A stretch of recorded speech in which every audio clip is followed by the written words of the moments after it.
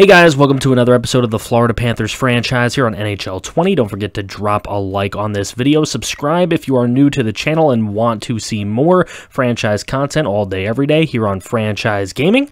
As you can see, a trade made here by the San Jose Sharks, picking up a center for a couple of draft picks.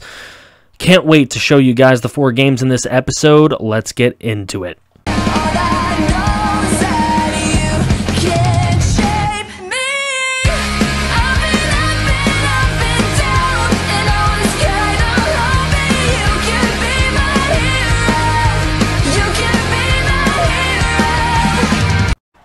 Okay, here we go. First game of the episode. Florida the Panthers at home at the BB&T Center in Florida, taking on the Boston Bruins, a divisional matchup here. We are 15-15 and 1 going into this game.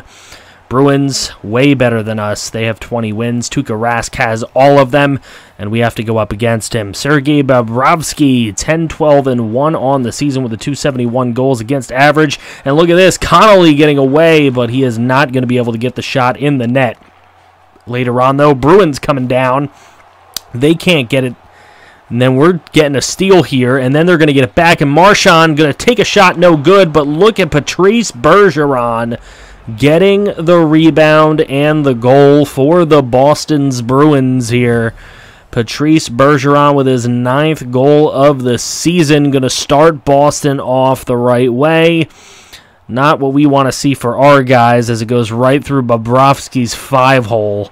Come on, Bob. You got to do better than that. So here's another pass, and that one going to get stopped by Bobrovsky as he stepped up his game a little bit here. Now there's a slapper, and Tuukka Rask going to handle that one. We get a little bit of a step there, but that one's also going to be handled by Tuukka Rask. Here's Ekblad, and Ekblad going to slap one and go into the net for our goal. First goal of the game for Florida. Look at Ekblad with that slapper. Did that come off of the captain there? I don't know. They're going to call it off. They're going to say goalie interference here. Something like that. They're saying that there was some sort of interference here. I don't understand really because we're not in the crease or anything, but we get a goal waved off if you understand why, let me know. But there's Vatrano, and he will get our first goal of the game and the episode here. Way to go for Frankie Vatrano. That'll be his fifth goal the season. It was on the power play. Love to see it. Love to see it. Don't want to see the other team getting penalty kills, so we loving it. We loving it. So it's a 1-1 game now as there he comes out of the box. And now Vatrano again is going to miss but look at this that's going to get put in and that's immediately going to get waved off no good. That was would have been another Vatrano goal right there as he gets his own rebound and put it in but as you can see his left skate is in the crease that time. So that one definitely rightfully waved off here as we take one more look there, there you go. Left foot in the crease. They're not going to give it to him. So remains a 1-1 game. There's a miss. Tuukka Rask making some nice saves deeper into this game. Bobrovsky going to get it, and he's going to try and push it out, and Bergeron going to get the easy goal as Bobrovsky trying to scramble back to the net there. Wasn't a great decision by him to try and pass that one out. Bergeron getting the goal, and it's a 2-1 Boston Bruin lead until this happens. Colton Sceviour, I believe I'm saying this name right, but he will tie the game and get it even with his eighth goal of the season and a power play goal for the Florida Panthers. Gotta love seeing that, and that will even us up at two. Colton Sceviour being our savior right now as Joe Thornton coming out of the penalty box here we go, 2-2 game, and that's a goal in the second, late second period, and that's going to give the Boston Bruins the lead right back. David Pastrnak on his 11th goal of the year, the only Boston Bruin fan getting up there and trying to rile up the crowd of the other four Boston Bruin fans that are probably in the building. Anyway, here we go. As into the third period off the pad of Tuukka Rask. That's going to go in, and that is Daddy with a goal. Dadonov, Evgeny Dadonov with his 10th goal of the year is going to knot this thing right back up barely getting that one off of Rask's pad into the net. So we have a 3 3 game with just over nine minutes to play. Now under nine minutes, and there's Backes, and that goes over the top, no good. And here is Ekblad trying to get it out, and he will lose it to Ritchie, who passes it over, and then he gets it back and puts it in the net with 8.06 to go. And the Boston Bruins take the 4 3 lead. Brett Ritchie, only his second goal of the year. That would prove to be the game winner for Boston. So, heartbreaking loss. It was a back and forth game the entire way. Patrice Bergeron, the number one star, with two goals, one assist. Daddy and Colton getting in as the second and third stars. So, as you can see, we lose this one 4 3. Daddy had a nice game. 35 shots for us. 44 faceoff wins for the Boston Bruins, and that played a big part in their win today. So now we're 17 16 and 1, and we're on the road in Carolina to take on the Hurricanes. Peter Mrazek is in net 14 12 and 1 with a 284 goals against average a 908 save percentage. Bobrovsky, better on goals against average, better on save percentage, but a worse record. And we'll see if we can improve upon that as right away it's going to be a goal almost immediately in this game. And that's going to start us off on the right foot. Daddy getting it done again. 11th goal of the year for Evgeny Dadonov. Take another look at it. Just a beautiful wrister to the left side of Mrazek, and that's going to get right by. So here later on, again, early on in the game, and another goal coming for Florida. That is going to make it 2 nothing. not even five minutes into this game. Barkov going to get his 12th goal of the year. The captain getting it done right here with the tip in. And we're looking good early on until this happens. That was just an odd pinball like type goal. Would love to take another look at that. That was Sebastian Aho on the goal. And there it is. Just looks very strange, super quick.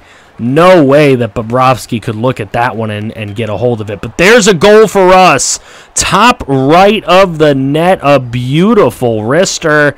And that's going to go in for Mike Hoffman. And that'll be his eighth goal of the year. And it is a power play goal. Carolina Hurricanes fans not loving it, but I don't really care what they like because we need the goals and we need the wins. So, beautiful shot right there for Hoffman. He's one of the guys you're going to take a look at at the end of the episode. He wants a contract extension, but there's a shot by Carolina, and that's going to knot things up here. Look at the mascot doing the I don't know what the hell he's doing, to be honest with you. But Aho, again, that'll be his second goal of tonight. And again, that's going to have us knotted up. Or, no, it's 3 to 2 now. My bad. So 3 to 2. Carolina still needs a goal to get into this one, but look at the stops by Bobrovsky. It's not going to happen. And we're going to win this one. Aho will be the number one star of the game. Somehow Slavin will be the number two star. Huberdeau, the number three star. So none of our goal th- scorers of our three goals make it on the stars list, which makes about zero sense to me. 27 face offs in favor of Carolina there. And we will go back home now to face another division rival in the Detroit Red Wings. They're another rebuilding type of team, just like us. Now Bobrovsky's got his record to above 500. That's what we like to see. So is Jimmy Howard. He's 12 11 and 2. So we'll see what we can do against Jimmy Howard today. Here is DeRose. That's going to be a quick pass and wide open for the shot and the goal right there for Detroit to take a 1 0 lead. Christoffer Ehn going to get the goal here. Here's Colton Sceviour. He's coming up and he's going to shoot, and that is going to go wide left. But Barkov going to take a handle of it. Going to make a quick turn. Going to shoot a backhander, and Sceviour is there for the rebound and the goal to knot this game up. Colton Sceviour with his 10th goal of the year And another power play goal here this episode for the Florida Panthers, rocking those uh, classic jerseys, as classic as you can really get, really early 2000s. And Mantha will come out of the penalty box, and it's a 1 1 game, even going into the third period. And Rasmussen is going to get the goal right there in front to give Detroit their lead back. Somebody let that man know he has an octopus on his head. But it will be Rasmussen and Vatrano coming out of the box after that power play goal on the other side. So now it's a 2 1 game. Florida with a little bit of a deficit. There's a beautiful slapper, and that's going to go in. Jonathan Huberdeau with a beautiful goal right there. I quite like our mascot more than most mascots in the NHL. I'm not going to lie. But we get the, another power play goal as their player coming out of the box. Huberdeau with a beautiful shot, top right shelf. And now, very little time remaining. Just these teams really trying to scramble, see if they can get a last second goal, and it's going to be picked up here by Detroit. It's Larkin. He's going to pass it over to Mantha. He's going to miss, but Larkin's going to put it in with four seconds to play. And the Detroit Red Wings are going to win it dramatically here on the road in Florida with a beautiful rebound goal by Larkin, their star. And he has done it. Let's take another couple of looks at this one. Just beating out Bobrovsky to the blocker. Look at that. Bobrovsky just trying to close up, but just not quick enough on the reflexes. And Larkin, first star, and he deserves it. Mantha will be the second star with two assists, and Jimmy Howard will be the third star. So all three stars of the Red Wings. 3 to 2, 35 shots to 25. Detroit had the edge there and 28 faceoffs to 10. We actually didn't do that horribly on faceoffs in that one. Now we go to Columbus, Ohio in the Nationwide Arena. We are 19 18 and 1. The Blue Jackets are 18 16 and 5. Let's see what ends up happening in this one. Bobrovsky, look at that. A perfect 500 at 14 14 and 1. And we are going to go up against Vienny Villainen. I guess. That's the best I have. I'm sorry.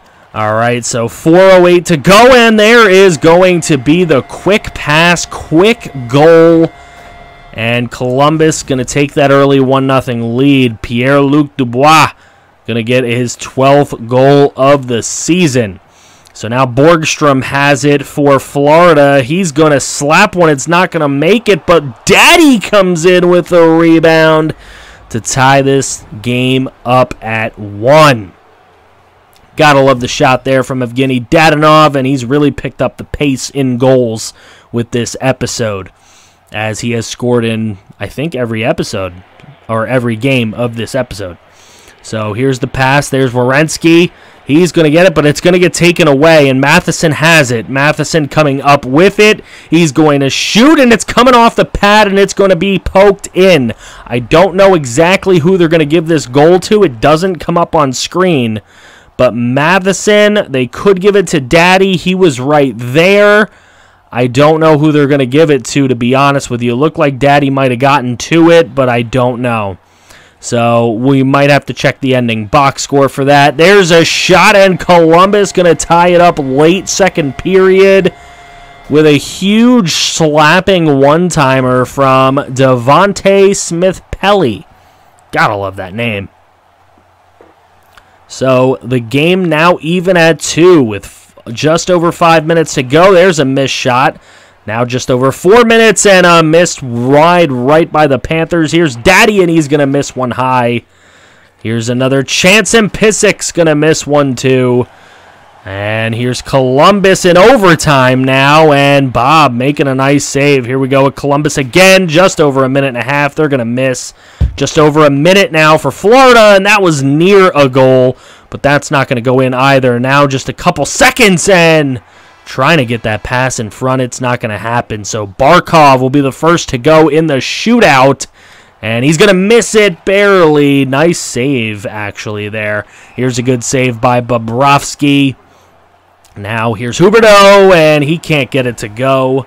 So now Nyquist coming down on Bobrovsky. He's going to miss it. So now, here we go. Here's another chance for us, and we are going to miss right there. Good save. Here's Ren or Wennberg, and he's going to miss as well. Wow. So now we're going into that extra shootout period here. Dubois coming down, and he's going to definitely miss. He's going to get flipped over. So here we go. Here's a shot. Slapper. No good. Tried the slapper there. Here's a shot, and Bobrovsky with the save. So now Ekblad is going to get his chance. The defenseman's going to score on the shootout. Unbelievable goal. Beats the glove. And now Foligno trying to extend the game. He does not. And the Panthers will win in a shootout here. And the score will be 3 to 2 as Bobrovsky, the number one star, Smith Pelly, number two, Dubois, number three. That's very biased because I think Daddy really should have been in there. But Michael Matheson does get credit for that goal from before. So there's the answer on that one. 23 to 2 was the face-offs today. So now there's two guys I want you to look at before we end this episode of Evgeny Dadonov. Now, obviously, Daddy I love calling him Daddy in this series as a nice little uh, inside jokey joke. 12 goals, 17 assists. He's got 29 points. He happens to lead our team through 39 games. Definitely a guy we might want to bring back, but look at what he's asking $8 million for eight years. That's a lot for a 30 year old. So we look at Mike Hoffman. He only has eight goals, nine assists. That's only 17 points. He's not really contributing like an 85 overall should. And he also wants $8 million for eight years. So, guys, what should I do with these guys? Should I let them ride out the season? Should I trade them for whatever assets I possibly can? As we take a look at the standings here, you will see we are not in the tops here. So, we are not a very high playoff chance team, really. But we do have a chance to make the playoffs as the nine seed right now in the Eastern Conference. So that means we can get there. The problem is that we're going to be a low seed. We're going to be on the road in the playoffs. We're not going to be as good as the team we're playing in the playoffs. That doesn't mean a lot in hockey because the puck can bounce any which way, as you see. But we're just not that good of a team. So, should we take the assets for these guys. Let me know in the comment section below. Should we try and trade those two players? Should we keep one of them, trade the other? Should we keep both of them?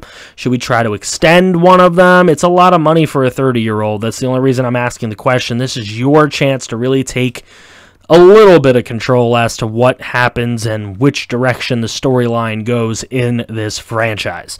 Thank you guys so much for watching. Don't forget to drop a like as well as subscribe if you are new to the channel. There's plenty more of this franchise as well as three other franchises on the channel, so check them all out. Franchise content all day, every day here on Franchise Gaming. Take care, guys. You're a pretty little star boy.